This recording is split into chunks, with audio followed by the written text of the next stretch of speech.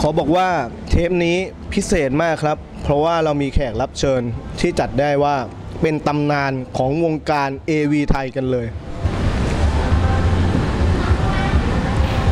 ของผมไม่เล็กนะครับ